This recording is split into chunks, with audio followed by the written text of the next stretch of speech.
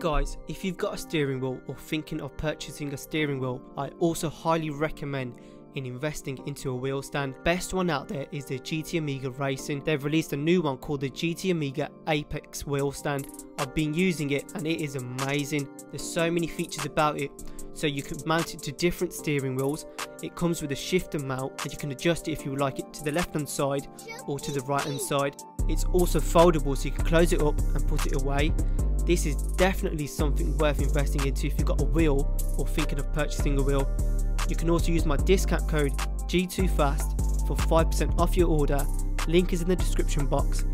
Definitely go and check it out.